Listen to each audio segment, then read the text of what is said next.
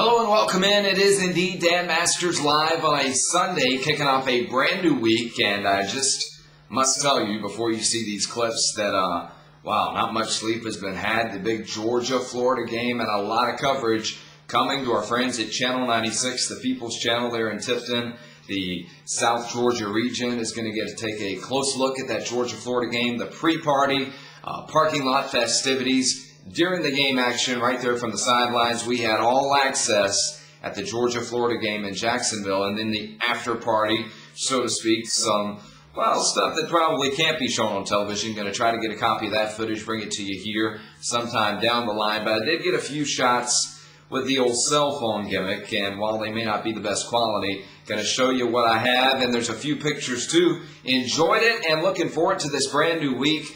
Throughout the week, I'll be doing the overnight 2860 from 11 to 8 every day, and then some radio stuff mixed in. On Friday, of course, it is Lawler 35. 35 years of Jerry the King Lawler involved with professional wrestling, and he's going to be climbing in the ring with a monster, the huge psycho Sid, Sid Vicious. Sid's been talked about making a possible return to the WWE. What will we see happen in Nashville on Friday? Jimmy, the mouth of the South, that little mouse is going to be running around ringside with that megaphone. Jerry Lawler means business. He's looking for a win against that huge man. Kenny he pile drive? Sid on Friday night. That's the question. The Moondogs are going to be in tag team action. Eddie Gilbert and Brian Christopher team up. And we'll see Sean Schultz, Malibu Matt Boyce, Chase Stevens, and so many more from top to bottom. A big card, Lawler35.com, and then I head home.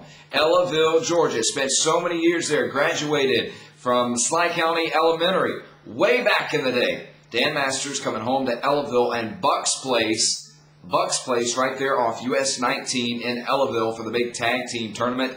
AWA World 1 South, get ready. Tag team tournament action takes place there in Ellaville on Saturday night. Come on out and say hello. It's sure to be a good time. Wish my brother could come down from up north and, and take part in this thing, but there's always next year. Get that thing booked. I think that'd be something the fans would love to see.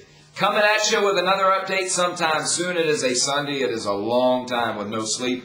I'm about to take a nap, and I look forward to chatting with you again sometime real soon, right here on Dan Masters Live.